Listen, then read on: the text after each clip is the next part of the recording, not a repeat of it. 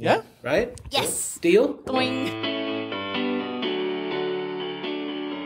Welcome to the Acquia podcast, Drupal technology, community, and business. Welcome to the Acquia podcast, Drupal technology, community, and business.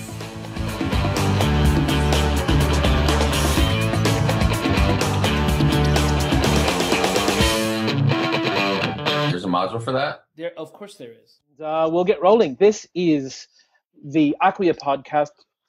I want to talk about the next one in relatively neutral terms and encourage everyone who's interested absolutely to go and watch, but to then um, really read about it, think about it, and form their own opinions. So, uh, a lot of waves were made um, by Larry Garfield. He did a session called Managing Complexity, and he drew um, he based on a lot of research and a lot of thinking that he's obviously done he um, drew some conclusions about um, so he drew a lot of parallels right between um, how complex and how large a set of code is to what sort of tools and philosophies you need to um, have in place to manage it um, and and and very elegantly drew the parallel to societies and communities through uh, various historical, um, political, different bits of philosophy, and then continue drawing that line over to Drupal today, saying we're really massive, we're really complex, um, and we're taking a long time to do uh, get Drupal 8 out the door, for example, and and some thinking on his part about why that happens and some frustrations that he's obviously gone through himself, and a proposal for how to manage this complexity um, and uh, uh, let me see if I'm not, see if I can get this right elegantly. He basically suggests um, putting in place some structures that give, for example, subsystem maintainers the authority to tell people yes or no on certain concepts um, so that people can get stuff done.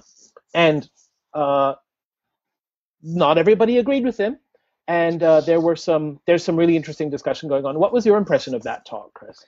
Um, you know, I, I have a hard time. I think being um, being like distancing myself from the topic because you know I, anybody who's heavily involved in a core version uh, is going to have a significant opinion on this one way or the other. You know, for me, a lot of the things Larry said uh, rang true. For others, I know that uh, their their uh, specific uh, experiences are going to not necessarily, uh, you know, map to what Larry was saying.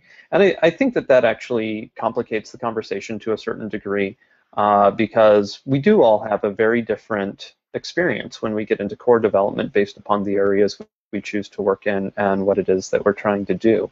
Um, you know, so I went to that session. Uh, I thought it was a very good session. I know not everybody agrees there, uh, and I, I think that that's okay, right? I think what's most important is that we begin to have a conversation around this and at least, uh, you know, say, hey, uh, you know, that is a problem because, or that isn't a problem because, and come to a consensus as a community. Um, so, you know, for my part, um, I would like to see some processes in place that actually make what Larry's talking about um, more enforceable.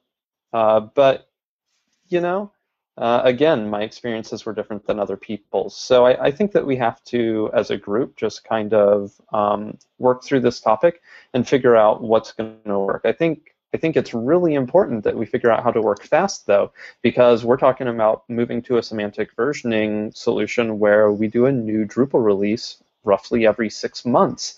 And you know, if we're busy spending weeks or months at a time uh, fighting over a particular topic in the issue queue, uh, then you know, which is bound to happen, right? It, will happen no matter what sort of processes we have in place. But you know, I, I think that uh, having having a really good notion for how to move forward on that sort of stuff is is something that we are going to have to achieve and have to achieve very quickly if we actually want to keep the Drupal 8 release schedule that we have been discussing. Yeah. So the the discussion. So on the one hand, Larry is suggesting some structures and some concepts of responsibility and authority going together without really sketching out how that would work in practice. And uh, the biggest objections that I think I saw were some people objecting to his choice of examples, some people objecting in some ways to his assumptions about how authority and such work right now in Drupal, and a set of counter proposal equally amorphous, which which was more or less if we communicate more and better and maybe actually implement implement project good project management rather than authority in some form that, that we could do better. So in any case, rather than taking sides, absolutely worth watching the session, listening to all the questions at the end of it, reading all the comments on the Drupal uh, Con Amsterdam website node. I will publish the link to that. Um, Larry also links to uh, most everything he read uh, and, and looked at in terms of research. A couple, uh, a session by Sam Boyer and a post by Sam Boyer, I think, especially important. And um, when we, uh, when you and I were talking, Kris, we also thought that it would be worth people checking out Emma Jane Hogbin's session, "The Danger of Having No Why," which was from DrupalCon Austin, which touches on a similar area, and Lisa Welchman's "The Paradox of Open Growth." That was her keynote from DrupalCon Prague. So we will link to all of that, and um, I encourage people to go and think their own thoughts and and and uh, and and see what we can do to help our community. Yeah, and I, I don't know about the Emma Jane one. Um, you had that up there. I saw some other people link to that during you know the broader discussion of this on Twitter. Um, and you know the Lisa Welchman one was absolutely suggested uh, by the community. I had a few people uh, suggest watching that one, and it ended up being like like these are all prior works within the Drupal community on this same sort of topic. So Yeah, definitely worth watching exactly. context around the the subject. Okay, so I want to make three suggestions without much discussion of things that, uh, if they sound interesting to people, um, I highly recommend checking them out. So, the first suggestion is go and watch Cory Doctorow's keynote. He talks about open source, he talks about our responsibility as open source practitioners, and he talks about the danger of letting the Internet of Things and the computerization of everything fall into the hands and the control of um, essentially the wrong parties. He talks about surveillance, he talks about proprietary systems, and our chance as open source people to make a positive difference in the world. Super, super, super highly recommended. He's a really interesting thinker and writer. Anyway, he had a, and he, he delivered a really compelling, uh, interesting speech without any slides. Um, for those of you interested in um, testing Drupal and um, uh, all, all of that uh, testing infrastructure and so on, um, I found out that they did a there's a there's an initiative kind of going on called DrupalCI.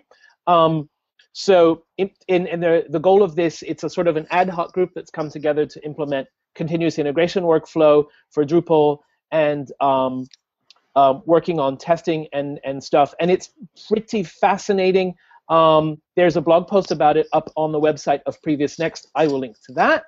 And the third dry suggestion uh, Susan Rust continued her series of talks about business and project management and client work and Drupal development, um, which is actually really worth checking out. And it goes um, so it starts uh, sort of working backwards. She did a session in Amsterdam called Train Wrecks and Ugly Baby Client Meetings. Uh, she did a similar uh, related talk in Austin and one in Portland as well.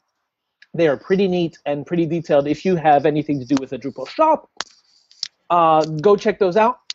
And so, Kris, last two sessions that we want to talk about if we can keep the our discussion relatively compact, we'll we'll we won't go too much over the time that we agreed on. Yeah.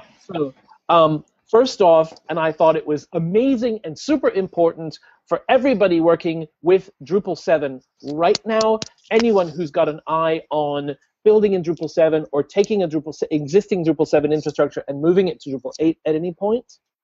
Dave Reed did a talk called "Future Proof Your Drupal 7 Site." Yeah. Yeah, and you know, Dave had a lot of really, really great points in that. Um, that entire session was really about like what modules you should be using if you're starting a Drupal 7 site today. Uh, it was essentially like a um, like a eat this not that except for modules uh, for upgradability from Drupal 7 to Drupal 8. So uh, a lot of really great points in that. Um, I think some of it was subject to you know your specific uh, use cases, but all in all, um, some really awesome suggestions there and uh, great stuff to keep in mind. So, you know, if you're building a Drupal 7 site today and you want to be as compatible as possible with Drupal 8 um, as early as possible, uh, this session is totally for you. Yeah, and so he he um, had a bunch of general suggestions uh, about things to choose. Uh, a section of things that were developed for Drupal 8 that have been backported to Drupal 7 that are really good ideas to use, and also a list of things absolutely not to use in Drupal 7 now. So a very solid hour of useful information there. Um, there's also a blog post about it um, on ostraining.com that lists some of his points, so I'll definitely link to both of those. Now, um, I just watched this this morning, and it's a really fantastic site um, uh, presentation, um, which touches much closer to home for the work that I do now most days. How to market Drupal versus Adobe Experience Manager, Sitecore, or Ektron. And this was a guy, and I say a guy, and I should know his name, from Adyax, Maxime Topolov from Adyax, which is a which is a big Drupal shop over here in Europe.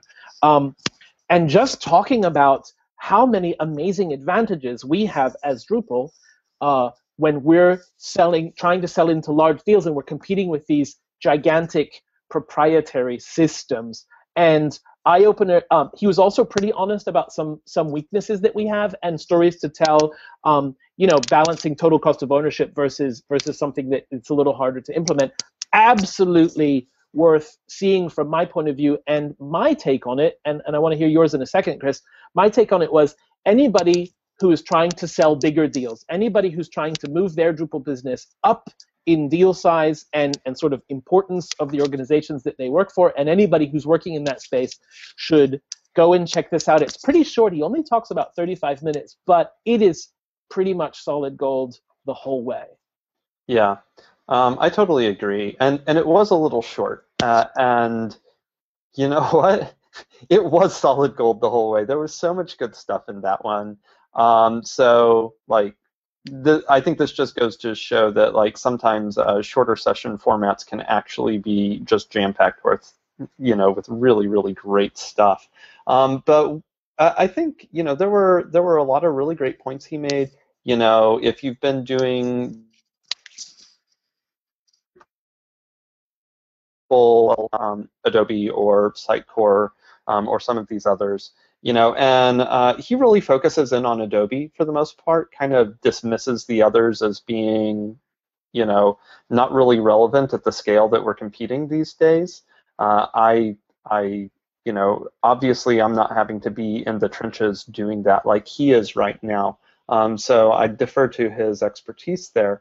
But he spends a lot of time talking about, you know, total cost of ownership. Here, here's what a uh, the average license uh, for, you know, Adobe's product is. Um, here's what the overall, you know, two, three year, whatever it was, um, you know, revenue from that looks like, et cetera, et cetera. And he's just like, you know, it's pretty easy to go in, show that we have an awful lot of features, and then say, all that money that you're going to pay them for a license, why don't you just put it into marketing? And you know, we can either put it into further development on the on the site and do more things that you wanted to do, or you know, you know, you could keep that money and do other things with it. He had a lot of really, really great points through that throughout Yeah, the entire a- session. Yeah, there was a there was a there was a point where he had video from the Adobe um, uh, Experience Manager conference where they say, you know, and it's in pub- completely public information. The average deal size is four hundred fifty thousand dollars, and the average amount of services that goes on top of that is two or three times that amount. So he says, average Adobe Experience Manager deal is two million dollars 450,000 of that is going straight to Adobe. Why don't you spend that money on value add instead? And he actually he used a slide that I use a lot in my presentation where you present the different costs in an IT project and, and, and they're mostly equal, but as soon as you get to having a zero dollar license fee with Drupal, right? All of a sudden you can reallocate your budget to, and he put it as value add, which I loved, um, but you can reallocate it to training and you can reallocate it to more design, more marketing, more features, whatever you want. Right. Um, and to be honest, if you're talking about half a million dollars, that is so much. You can get so much Drupal, right, for half a million dollars. So, um, no, it was absolutely, it was absolutely stellar. And um, I think he focused on Adobe. I mean, that maybe that is his day-to-day experience, like you said. But Adobe are kind of known as the demo kings. They give really, really slick, really, really beautiful demos, and um, one of the biggest sort of calls to action that I took out of this session was we need to, as a community, uh, invest in and use more of tools like the Acquia demo framework.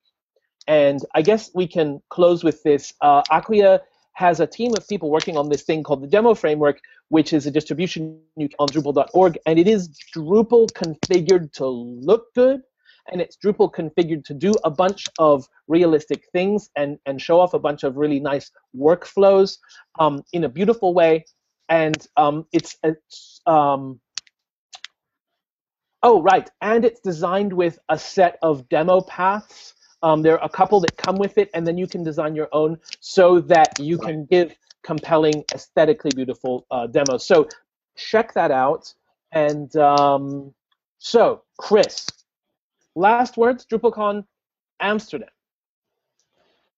Um, you know, it was a really great DrupalCon. I think uh, this DrupalCon was probably historic for a number of reasons. Um, uh, not the least of which is rolling beta one for Drupal 8. So, you know, I th- think we have a lot of really great stuff to look forward to here in the very, uh, very near future. And uh, you know, I think uh, everybody's going to get together at BADCamp and and have more words on this. So if you aren't planning to come, it's in the really near future, and you should totally be there.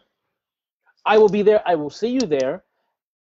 But DrupalCon Amsterdam, perhaps also most awesome fact, we smashed, destroyed, crushed. Oh, that's true the attendance record for a European DrupalCon, we had something like 2,300 people there, which yep. is about 500 more than have ever been at a European DrupalCon before. So um, mm, I, I, I wouldn't want to you know speak too soon, but that kind of growth is that feels really really exciting. So yeah, I'm I'm I came out of Amsterdam with just uh, so much uh, positive energy.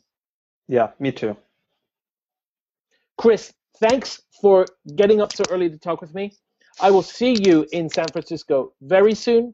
Anyone who's watching this after BADCamp, um, come to the next BADCamp, come to NYC Camp, go to your local local Drupal camp, come to a DrupalCon somewhere. Would love to see you there. Would love to talk with you there. Uh, Kris Vanderwater, thanks again. See you soon. Thanks, jam.